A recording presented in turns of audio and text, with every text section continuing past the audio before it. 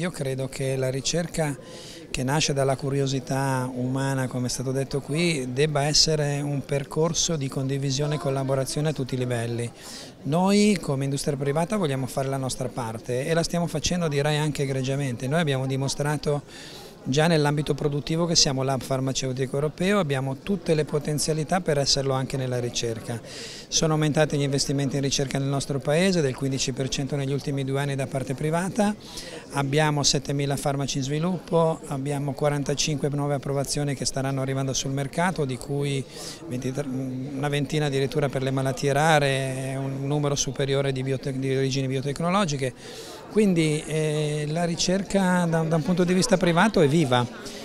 Che cosa ci serve? Allora, ci serve intanto, oh, come sempre, la condivisione. Noi abbiamo già iniziato, siamo, stiamo lavorando bene, credo, con AIFA, il Ministero della Salute l'Istituto Superiore di Sanità, avevamo organizzato anche un evento perché sta arrivando un nuovo regolamento europeo, noi abbiamo la possibilità tra l'altro di aggredire 100 miliardi di investimento che fa il privato nella ricerca ed è un peccato non portarli in Italia, anche se devo dire in Italia la, la, percentuale di ricerca che facciamo rispetto all'Europa sta aumentando, lo dicono i dati AIFA, siamo passati dal 16 a oltre il 18% nell'ultimo anno, quindi questo è un dato sicuramente positivo che mi lascia ben sperare. Abbiamo bisogno però anche di regole un po' stabili, di attrattività, di, di regole ehm, di aspetti regolatori che aiutino la ricerca, tempi di approvazione rapidi, eh, in modo tale da non arrivare dopo gli altri paesi europei. E non ultimo, lo ha detto bene il sottosegretario De Vincenti, di una governance